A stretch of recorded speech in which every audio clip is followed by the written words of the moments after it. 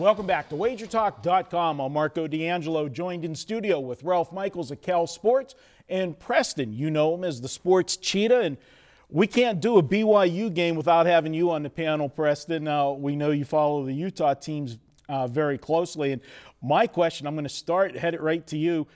BYU, what can they possibly have left in the tank? This is their sixth game in six weeks. They've played four of the six away from Provo.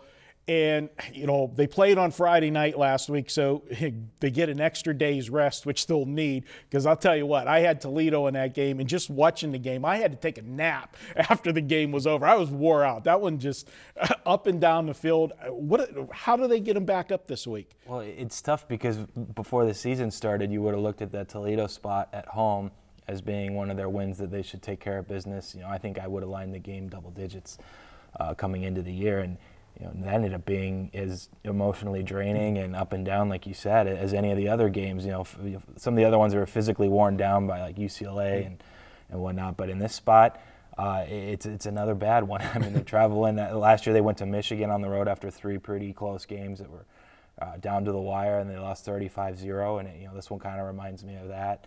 Um, but at the same time, I thought the West Virginia when they played them, and West Virginia was coming off a bye, that that would be kind of the game they folded and they were down 17, I think, but they, they fought back. They scored two touchdowns and actually covered in that one. So, you know, all of BYU's games have been decided by three or less. Whether I think they're two and 3 mm. um, but but they've been covering spreads no matter what. Uh, they didn't end up covering last week. Toledo got there for you, fortunately. Um, but one thing that intrigues me most about this game, I don't think I'm going to end up betting it, but I'm really curious to see what we get out of Sparty.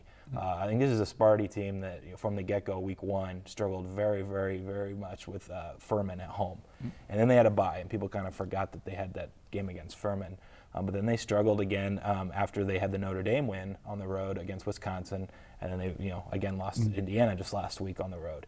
And that Notre Dame win's not looking nearly as, no. as powerful as it maybe did in Week Three. Duke, you know, beat Notre Dame the next week outright as three touchdown underdogs. So uh, Michigan State team, I think we're going to learn a lot. Are they going to respond, you know, and, and kind of take care of business as they should, um, or is this just a better, uh, you know, a, a team that isn't as good as we've come to know in recent years?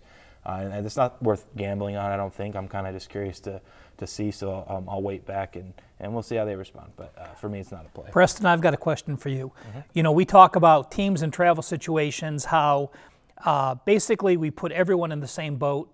We sometimes give the military academies, um, they can handle those situations better.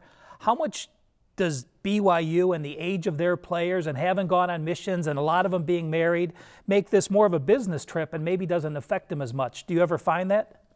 That's interesting. To be honest, I, have never I've never thought through that before. Uh, I, I, definitely think you have a little more of a maturity level. You know, it's a religious school, so they're not partying. So right. especially on road trips or home games, uh, it's yeah. I think it's definitely something that can be advantageous more often than not. You know, I agree with you. This is the Michigan State week where it's make or break, and excuse me, this is the first time in 46 weeks Michigan State has not been ranked in the AP Top 25. Now it's step up or go away. And I think they have the coach to step up. I think they have the situation where you have one of the top five coaches, perhaps, in all of college football. At least he put his name in that hat the last few years, getting to the um, to the bowl situations he was at. But you know, while Michigan State lost to Wisconsin 30 to 6, while they lost to Indiana in overtime, they still outgained both of those foes. BYU, meanwhile, has been outgained three of their last four games. They were outgained by over 100 yards this past week. I think the situation does catch up to them a degree. Um, not as strong on this one as, as one of the other videos, but I certainly think that you have a prideful team, a prideful head coach, a great fan base, and this is the situation they come back and, and show their heart my only concern with Michigan State, and that's the side I lean to because I, I, just don't like the spot for BYU. I will say it's easier for BYU the fact that they came back and won the game had they lost that game. I think it would have been tougher to go on the road this week after losing the Toledo game back and forth the way it went.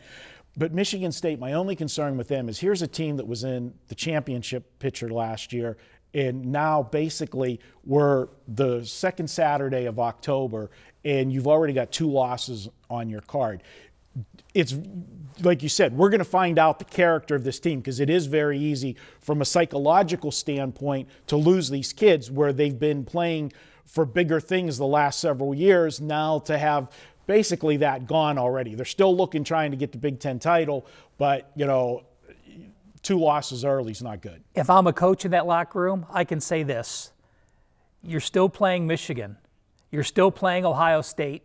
Michigan and Ohio State play each other. All you really need is one more loss amongst there to be back in the mix. I think he still can motivate him. All right. Pick a side here if you got it. Uh, I'll, I'll lean with the home team. Under.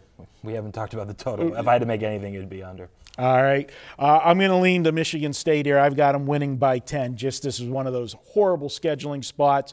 Uh, so I'm going to go ahead and take Michigan State minus the points.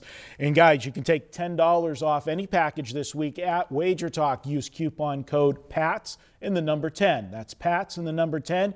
And you can take $10 off any package at Wager Talk. We'll be back with more here on wagertalk.com.